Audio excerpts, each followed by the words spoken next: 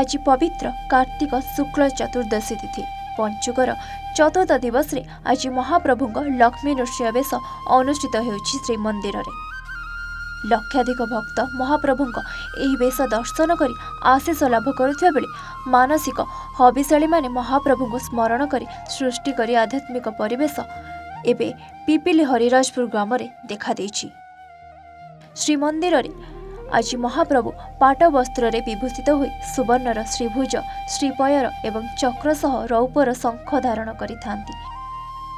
ଏହି ବେଶ ଦର୍ଶନ ପାଇଁ ଶ୍ରୀମନ୍ଦିରରେ ଲକ୍ଷ ଲକ୍ଷ ଭକ୍ତ ସମାଗମ ହୋଇଥାନ୍ତି। କିନ୍ତୁ ଡେଲାଙ୍ଗର ହରିରାଜ ଟାଙ୍ଗି ଭସର ଗ୍ରାମରେ କୁମାର ପୂର୍ଣ୍ଣିମା ପରଦିନଠାରୁ କାର୍ତ୍ତିକ ମାସ ଶେଷ ପର୍ଯ୍ୟନ୍ତ ଅତି ନିଷ୍ଠାରେ ରହିଥାନ୍ତି ହବିଶାଳୀମାନେ ସଂକଳ୍ପ ନେଇ ହବିଷ କରନ୍ତି। ଶ୍ରୀମନ୍ଦିରର ରୀତିନୀତି ଅନୁସାରେ ଏଠାରେ ବ୍ରତ ଧାରଣ କରିଥାନ୍ତି। ପ୍ରତ୍ୟେକ ଦିନ ହବିଶାଳୀମାନେ ପ୍ରଭାତରୁ ଉଠି ନିଜ ନିତ୍ୟକମ ସାରି ବୃନ୍ଦାବନ୍ତୀଙ୍କ ପାଖରେ ରାଇ ଦାମୋଦରଙ୍କ ପୂଜା ଅର୍ଚ୍ଚନା କରିଥାନ୍ତି। କଉଡ଼ି ଖେଳ ଦହି ଘଷା ବଂଶୀ ଚୋରି ଚୁଡ଼ି ବିକା କରି ହରିନାମ ଜପ କରିଥାନ୍ତି ଏହି ହବିଶାଳୀମାନେ ମହାପ୍ରଭୁଙ୍କ ନାମ ଜପ କରି ମାସ ତମାମ ହବିଷାନ ଭୋଜନ କରି ଘରୁ ବାହାରେ ହିଁ ରହିଥାନ୍ତି। ଏହା କରିବା ଦ୍ୱାରା ପରିବାରର ମଙ୍ଗଳ ହୋଇଥିବା ସହ ଗାଁ ଓ ସମାଜର ମଙ୍ଗଳ ହୋଇଥାଏ ବୋଲି ହବିଶାଳୀମାନେ କହିଥାନ୍ତି। ମୋ ନାଁ ଭାବିନି ବେହେରା।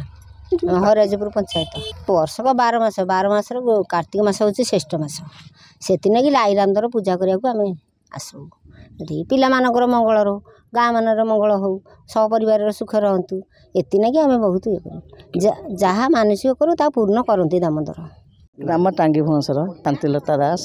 ଏଇଟା କାର୍ତ୍ତିକ ମାସ ବହୁତ ଧର୍ମ ମାସ ସେଥିଲାଗି ବହୁତ ସ୍ତ୍ରୀ ଲୋକମାନେ ସଂକଳ୍ପ କରି ନଖ କଟାଇ ଆଉ କାର୍ତ୍ତିକ ମାସ ଆରମ୍ଭ କରନ୍ତି ଏ କାର୍ତ୍ତିକ ମାସ ଆରମ୍ଭ ପୂଜାରେ ବହୁତ ଉନ୍ନତି ଲାଭ ହୁଏ ଆଉ ପରିବାର ବହୁତ ସୁଖରେ ରହନ୍ତି ମୋ ନାଁ ସୌଦାମୀ ମରିକ ମୁଁ ଆମର ହରେଶପୁର ପଞ୍ଚାୟତ କାର୍ତ୍ତିକ ମାନେ ରାଇ ଦାମୋଦରଙ୍କର ପୂଜା ସିଏ ତାଙ୍କ ସେ ଠାକୁରଙ୍କର ବହୁତ ମହିମା। ତାଙ୍କୁ ରାଧାକୃଷ୍ଣ ମୂର୍ତ୍ତିଙ୍କି ସେ ପୂଜା ହୁଏ। ସେଥିପାଇଁକା ସମସ୍ତେ ରାଇ ଦାମୋଦର ବୋଲିକା କହି ପୂଜା କରୁ ଆଉ।